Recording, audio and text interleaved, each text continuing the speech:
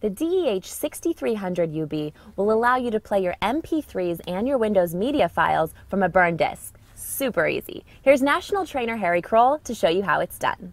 In addition to playing your audio CDs, the DEH6300UB can also play your MP3, WMA, and iTunes AAC files that are burned to a disk. Let's see how that works.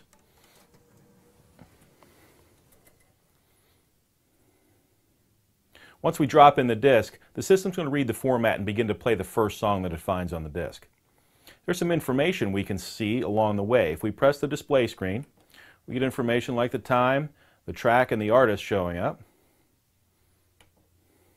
the album title, or whatever is coded into that MP3 or WMA data. To change folders on this disk, use the rotary commander.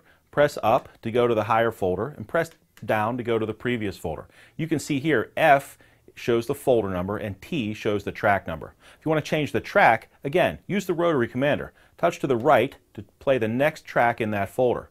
Touch to the left to go to the previous track.